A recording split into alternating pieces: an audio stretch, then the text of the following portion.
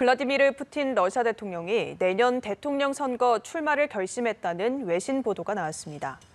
로이터 통신은 현지 시간 6일 복수의 소식통을 인용해 푸틴 대통령이 내년 3월 24일 러시아 대선에 나서기로 최근 마음을 굳혔고 측근들은 이미 선거 운동을 준비하고 있다고 전했습니다.